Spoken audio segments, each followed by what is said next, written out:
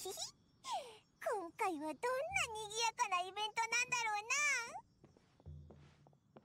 な。あれあれ？旅人にパイモンじゃない。偶然だね。道端でこけたらモラが落ちてた時よりもっと偶然。ちょうどあなたたちの話をしてたんだよ。久しぶり。その様子だとまた道中面白い物語をいっぱい仕入れたみたいだね。うんうん僕が思った通りだね。さっきは何の話をしてたんだ？遊ぶとこか？美味しいもんの話か？うんそれはね。とある一人の旅人が彼女の仲間と二人いろいろな国を旅して回り三種の友と出会い5つの湖と6つの海を越え七転び八起きに九死に実証を得て。な、なんでだんだん悲惨になってくんだよ？近頃石門中で美味しいお酒とおつまみが話題でね。急遽みんなで8杯七根とお酒を飲んでロック詩を5つ書くことにしたんだ。四方を巡ってきた君にぜひこの巫女と二言から一発でどんなイベントか当ててほしいんだ。その通り。モンドとリーユへ合同開催のシーカ大会なんだ。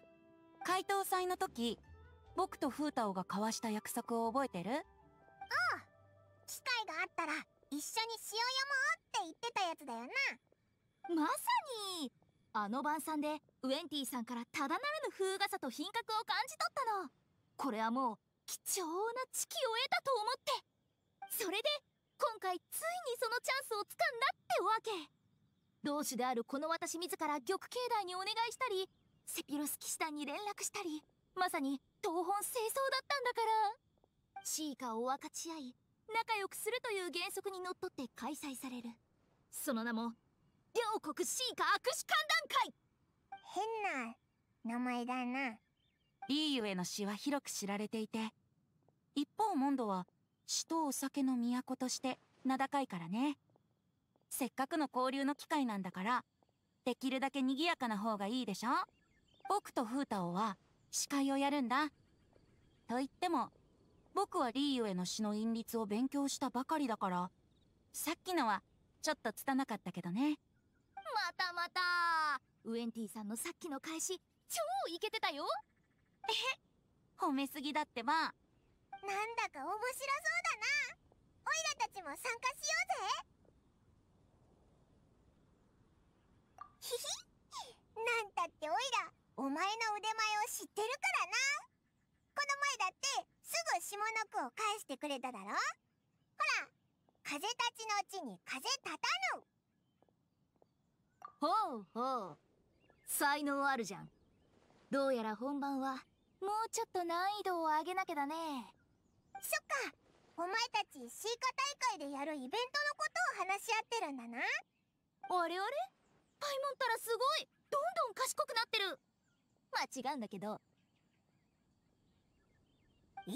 待てよ。外れなのか？実は僕たち特別なゲストを招待しようと思ってるんだ。言ったはずだ。我は行かないと。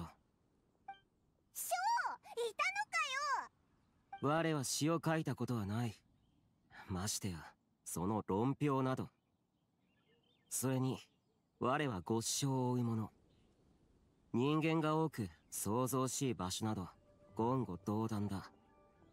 知っているだろう。そう言わないでったら何事も初めてってのがあるんだよ。誰しも地に草一つ木の鳥2匹から始めるんだから。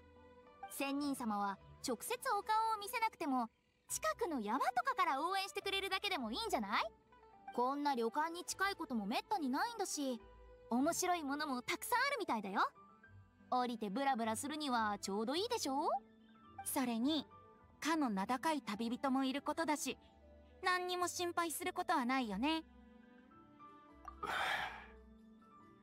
考えておく。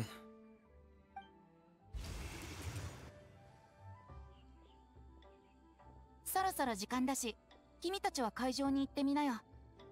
結構いっぱいお友達が来てるみたいだよそうそう。私はウエンティさんと開会の詩について話し合いたいしちょっと遅れるね。仙人様にももうちょっとダダをこねられるかもしれないし。じゃあオイラたち先に行ってる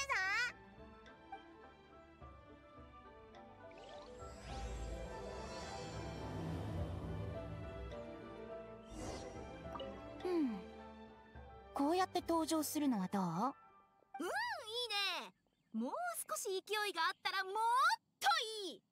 じゃあ私たちでまずはドカーンってしてその後つるってしよう。最後はヒューって。わかった？わかったよ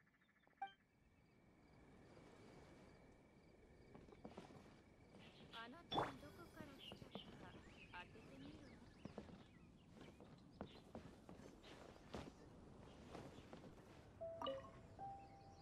おや？これはこれは。どうやら今回のシーカ大会はつわもの揃いのようだね。ゆくあきと蝶雲も遊びに来たんだな。もともと山へ鍛錬に行こうとしていたんだが途中で当選簿されてここに引きずられてきたんだ。そんな言い方はないだろう。これは二国間の友情を深める盛大な会なんだ妖魔に邪魔をされないようにするのがリーユへの奉仕たる者の責務じゃないのかい？それにこれを機に世の義教心ある人々と知己になれたら素晴らしいことじゃないか。さっきだってあのモンドの助教がどのようにしてあれだけ重たいものを持ち上げていたのか気になっただろ？エルのことか？あいつはすっごく力持ちなんだぜ。おや？二人の知り合いだったのかい？なら後で僕たちにも紹介してほしいな。はあわかった。でも調べると約束した件は忘れないでくれ。僕はそのために来たんだからな。何のことだ？もちろん忘れていないよ。パイモンもそうせく必要はない。その時が来ればわかるから。うん？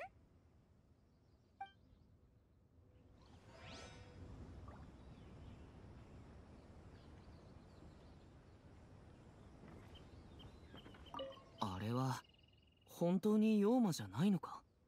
みんなの知恵を集めればきっと答えが手に入るはずだ。それもそうだな。待ったここにいる全員に話すつもりじゃないだろうな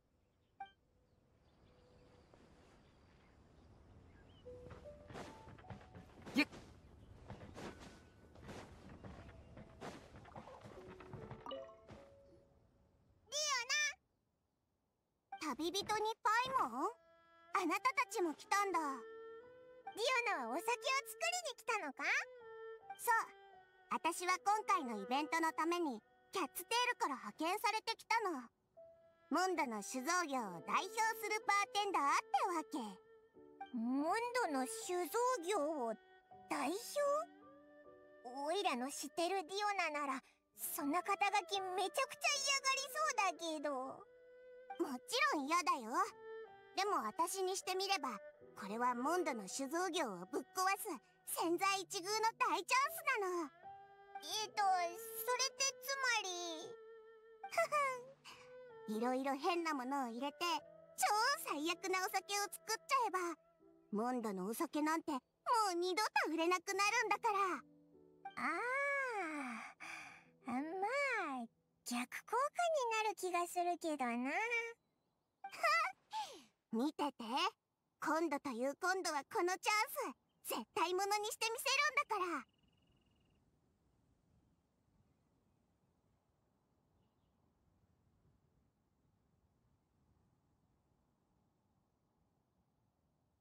ちなみにリオナもみんなと詩を作るのか？うーん詩か。酒場で銀融詩人が歌ってるのを聞いたくらいで自分で書いたことはないかな。じゃあ一緒にやってみようぜ。絶対面白いぞ。うんいいよ。時間があったら言ってあげる。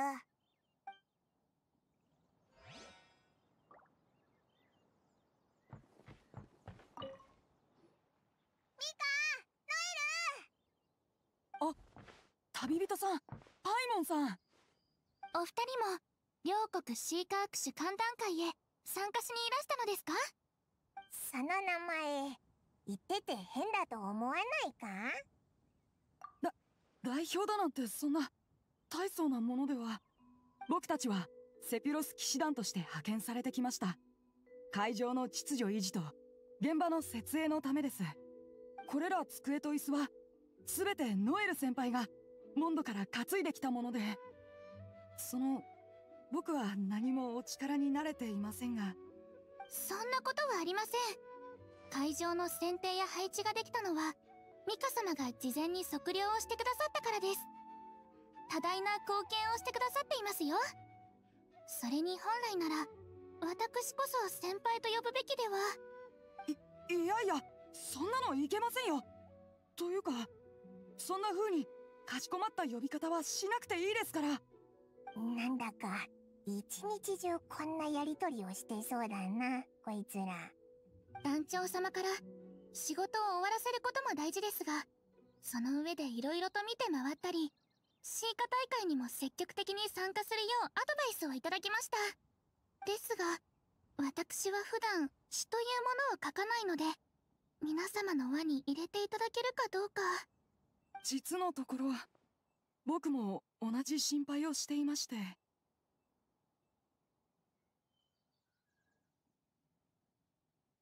たちも参加する予定だぞ。なんたって旅人は天才的詩人なんだからな。本当ですか？それではそのよろしくお願いします。もしかして詩を書くことも一人前の騎士として必須の教養なのでしょうか？え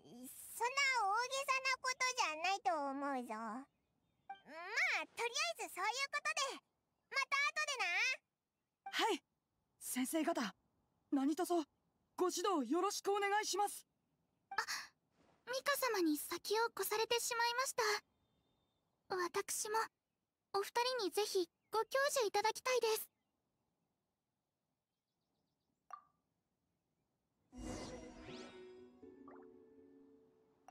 シーカにおいて最も大事なこととは何でしょう？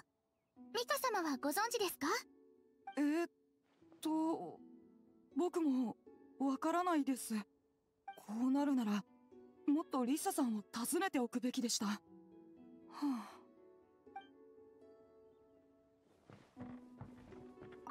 三将王の宝玉がいいかな。それともバビがいいかな。そうだ。せっかくリーユエにいるんだし絶雲の唐辛子を入れちゃおう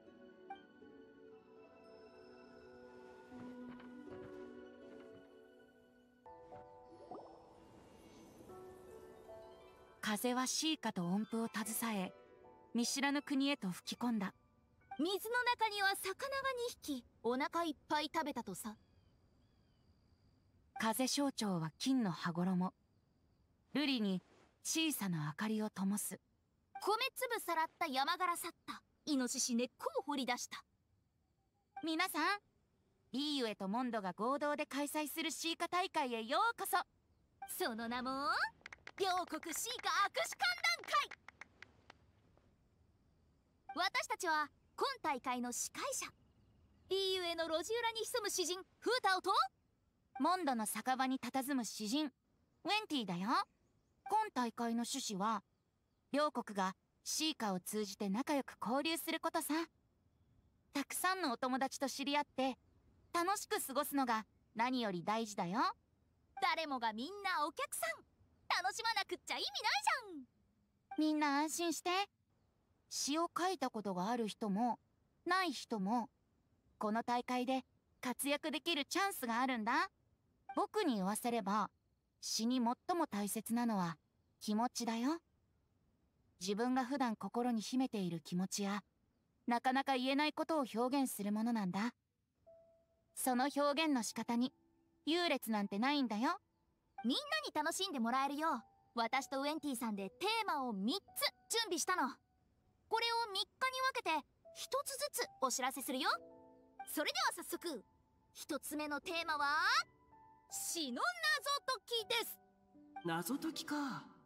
面白い。ウォーミングアップには確かにいい選択だ。ふう。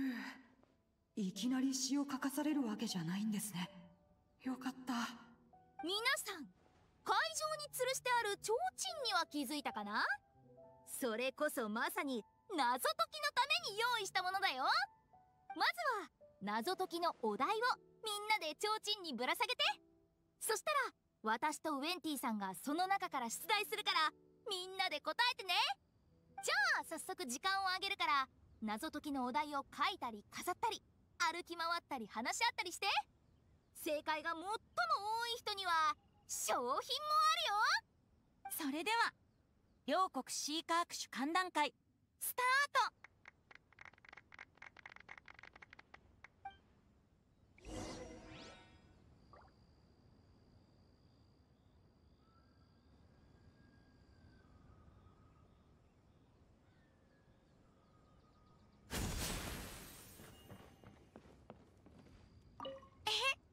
さっきの僕たちの登場。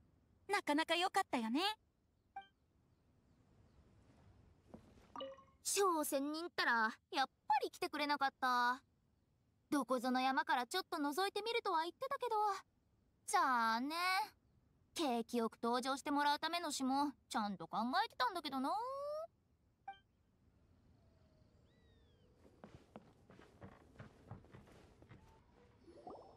どれどれこの提灯にぶら下げてあるのはえー、っとようようたる故郷を忍びつやつやたる花は満ちる。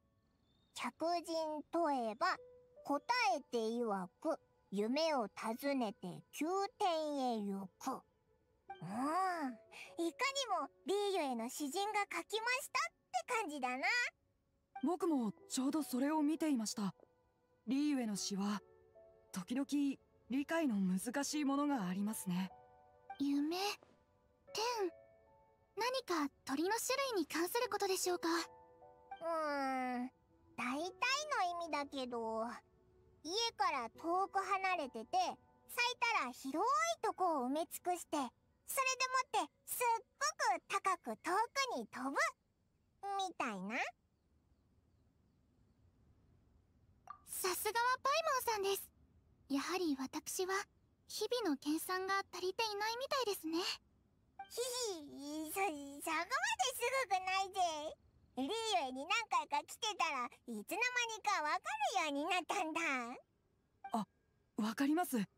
僕も大団長と調査に出ていた時いつの間にか現地の風土に影響されていたことがありました。でもこの謎かけ一体何のことだ？高く遠く飛ぶもの。私はまずタンポポが思い浮かびました。それは一理ありますね。モンド人にとってタンポポは思いを遠くに運ぶものですから。ですがいささか単純すぎたかもしれません。こちらはリーエ風のお題ですのでリーゆえにも似た植物があるのでしょうか。あなた様はどうお考えですか？わかりました。では答えの候補の一つとしておきましょう。なるほど。ウェンティ様がおっしゃっていたことですね。解釈が理にかなっていて詩に対して私たちなりに感じ取ったものがあるなら答えは大事ではないと。